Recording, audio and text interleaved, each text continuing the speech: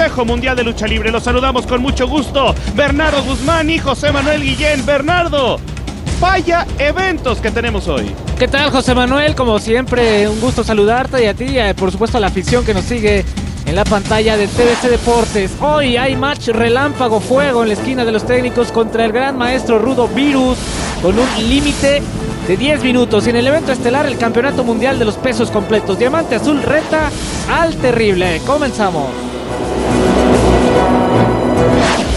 Encuentro en relevos australianos. Lucharán a ganarlo de tres caídas y sin límite de tiempo.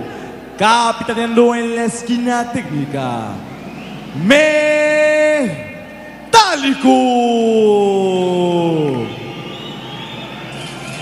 Capitaneando en la esquina ruda. Con ustedes, Apocalipsis.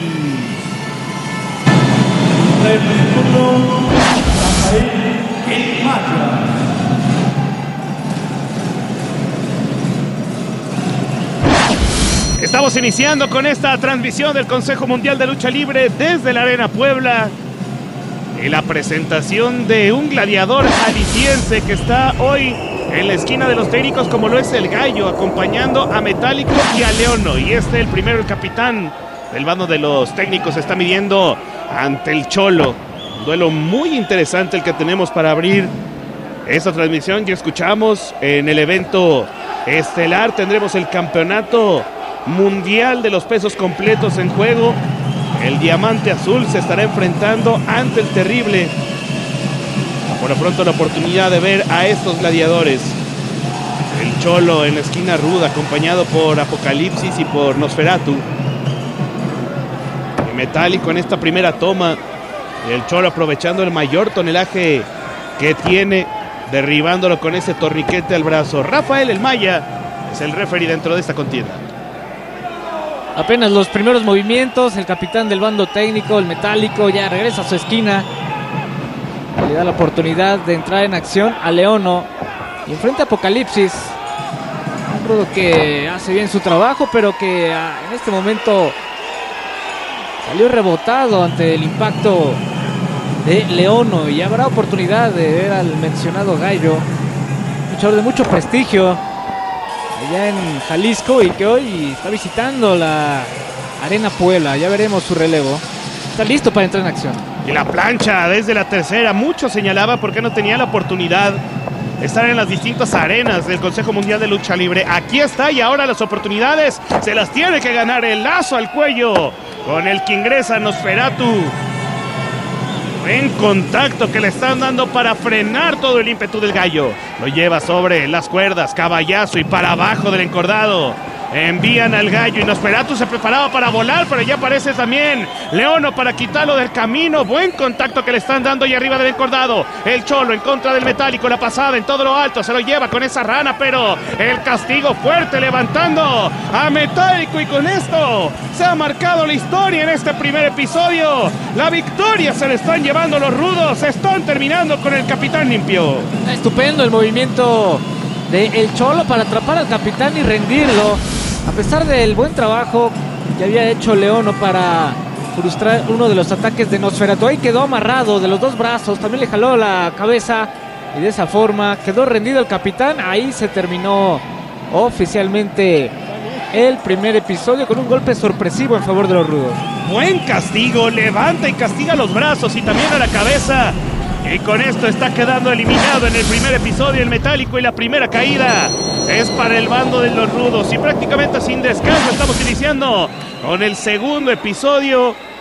Tras la inercia que han tenido los rudos, pues vaya que tienen una labor sencilla aparentemente en el camino. Y así es como recibe Nosferatu al gallo, jalándolo de la máscara y llevándolo hacia una de las esquinas. Nosferatu es el más fuerte de los rudos y está aprovechando su gran fortaleza para maltratar al gallo que viene de Guadalajara. Y ahora con el triple relevo está saliendo de control este combate a don Rafael El Maya. Pone el camino Nosferatu, luego lo mandan a las cuerdas. Con el rebote sale favorecido el gallo que logra provocar la equivocación de los rudos. Tijeras. Y ahora el impacto que está recibiendo de Apocalipsis. Leono está sobre la esquina. Ingreso con ese enganche. Dejándolo hacia el otro costado. Falla con el lazo y responde con esa patada. Le metió toda la suela en el rostro. Y ahora es Nosferatu el que tiene que ingresar rápidamente. Edición que ya había conseguido Leono sobre Nosferatu. Se ha empatado esta lucha. Estupenda y muy rápida la reacción del bando de los técnicos. Encontraron la manera de que se confundieran los rudos y ahí aprovecharon las distracciones para mandar a la lona dos de ellos. Y de esta manera la lucha ya se está empatando. El gallo se está acoplando bien con el metálico y con Leono y sus posibilidades de ganar la lucha van en aumento. Aquí está la repetición, cómo queda atrapado a pesar del dominio que había tenido Nosferatu. Se lo lleva bien con esta mecedora y después el gallo trabajando sobre el cholo con este mortal hacia atrás. La segunda caída ha quedado escrita y es para los técnicos y todo se definirá en el tercer episodio. Y la moneda sigue en el aire y la afición expectante de lo que va a suceder en este tercer episodio y lo que viene más adelante porque habrá match relámpago y habrá lucha por el campeonato mundial de los pesos completos. Suena el silbatazo de manera oficial. Suena para que dé inicio la tercera caída y definitiva. El ingresa rápidamente es Leono para venirse ante Apocalipsis. Lo lleva hacia abajo del encordado, amenaza con lanzarse, pero solamente se queda en un aviso. Y vendrá el ingreso del capitán técnico, que es metálico, para enfrentarse ante el Cholo. Un duelo que ha sido recurrente durante esta contienda, par de rodillazos que le están dando sobre la boca del estómago. Lo llevan sobre la soga, se lo quita del camino.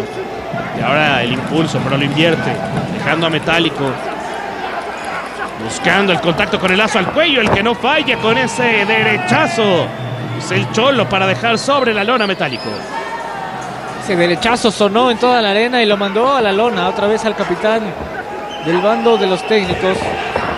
No logra conectarlo para sacarlo del ring. Amenaza con lanzarse, pero considera necesario en este momento. Y regresa a su esquina para darle el relevo al gallo. Que se va a enfrentar a Nosferatu. Bueno, parejo sin duda el que se avecina. Ahí está Nosferatu, el gallo rápidamente tomando la velocidad. Se lo quita bien del camino. Y después al regreso lo recibe con ese codazo para dejarlo sobre la lona. Otro derechazo más. Se desvanece el gallo quedando sobre la esquina. Invierte el impulso, lo lleva hacia el otro costado. Sacan por encima, pero queda con esas patadas el gallo. Sorprendiendo a Nosferatu que está quedando noqueado después del contacto que recibió sobre la espalda. Ahora con esta jarocha se lo están llevando para abajo del encordado y de paso se está llevando un fotógrafo. Amenazaba con lanzarse, pero ya el Cholo estaba dentro. Falla con el impacto, recibe el golpe sobre el pecho a la segunda. Mortal hacia atrás para caer sobre Nosferatu. Arriesgado el movimiento del gallo y efectivo para quitar del camino al más poderoso de los rudos. Ahora intercambian los relevos y es León el que está encarando al Cholo. Buenas tijeras. Ahora busca regresar el enganche. En la lona queda el cholo, pero lo recibe con este reguilete y después mareando. Ese driver la cuenta en tres. Y con eso está quedando eliminado el primero de los técnicos que se vio lento al ataque. Y eso le abrió la puerta al Cholo. Ahora es Apocalipsis en contra de Metálico. El contacto sobre el pecho. El impulso hacia las sogas. Buscando atraparlo con esa rara, pero se lo quita del camino. Bien responde Apocalipsis. Con las patadas sobre el pecho, al toque de espalda. El conteo en dos. Se levanta Metálico. Y buen movimiento y están en desventaja seria los técnicos. El gallo y el metálico. Y aquí puede ser el final. Ya con este paquete, Apocalipsis lo tiene contra la lona. Se resiste a morir el metálico. Leono quedó eliminado muy rápido. Se quedó sin oxígeno. Y ahora sí puede ser el fin. Lo tiene listo, pero está consiguiendo atraparlo con esa cazadora. Cuando buscaba el castigo, queda atrapado Apocalipsis. Están terminando con Apocalipsis. Y de inmediato la reacción del gallo y del león no termina con el capitán. El triunfo es de los técnicos en esta lucha. Vaya, vaya que se confió Apocalipsis. Tenía todo, eran tres contra dos.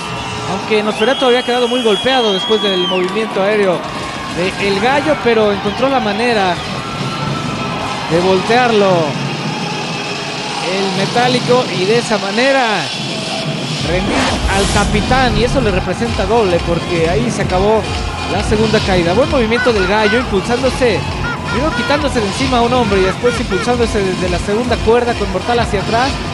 Aquí con este azotón quedaba oxígeno Leono y ya fue una presa fácil para el Cholo que sorpresivamente lo dejaban fuera de combate. Así es como llegaba a la cuenta de Rafael Maya, pero quedaría el duelo de capitanes. Y aquí buscaba el castigo, pero le da un tiempo de respiro. Y aquí aprovecha para conseguir ese giro. La cazadora y la cuenta de la que no se podría escapar y había quedado atrapado del cuello, de los brazos y de las piernas. Y con esto Metálico le está dando la victoria, su bando, el triunfo de los técnicos. Regresando muy bien en la segunda y en la tercera. Y a continuación tendremos un duelo en match relámpago. Será fuego en contra de virus. Nosotros hacemos una pausa. Regresamos con más del Consejo Mundial de Lucha Libre en TVC Deportes.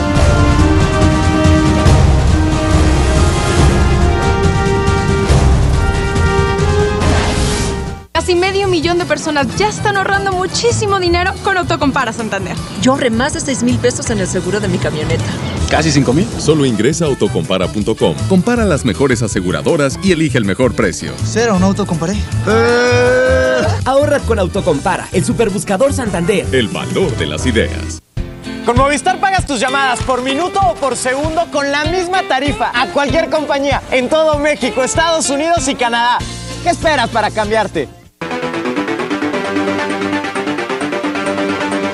Escríbenos a pbcdeportes.mx. Toda la destreza posible y algo de magia en los pies.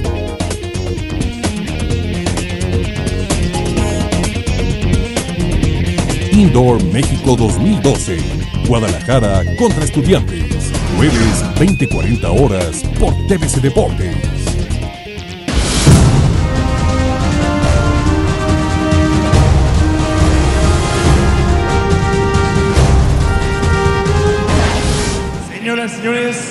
En un match relámpago, lucharán a una sola caída y con límite de 10 minutos. Por la esquina técnica se presenta el originario de Oaxaca, Oaxaca. Con ustedes, Fuego. En la esquina ruda, es todo un maestro. Con ustedes, Virus. Pues todo está listo para que corra tiempo. Que estos dos hombres, ya sonó el silbatazo. Eso tenemos un límite de 10 minutos, solamente una caída en este match relámpago. Fuego y virus que, que se conocen bastante bien. Pues ahí está el inicio dentro de esta contienda. Virus eh, consiguió un gran triunfo en ese 2012 en esta Arena Puebla. Dejando sin cabellera al Loco Max, el Loco Max que ya no es parte del Consejo Mundial de Lucha Libre, es gladiador independiente. Y Fuego que vaya que ha tenido grandes oportunidades. Incluso en este 2012 ya teniendo un viaje a Japón en un torneo de parejas y llevándose la victoria. Así que luce interesante este match relámpago. Duelo mano a mano, apretando fuerte con esa palanca sobre el brazo. De virus para fuego. Consigue el giro, pero logra levantarse fuego con el puente olímpico para que no haga May el castigo. Girando bien a Virus y consiguiendo el candado sobre la cabeza, pero no por nada le llaman el pequeño maestro a este Virus y toda la experiencia que tiene. Buena derribada. Le están dando a fuego y ahora lo deja en el toque de espalda, pero es muy temprano. Apenas han transcurrido cerca de minuto y medio dentro de esta contienda.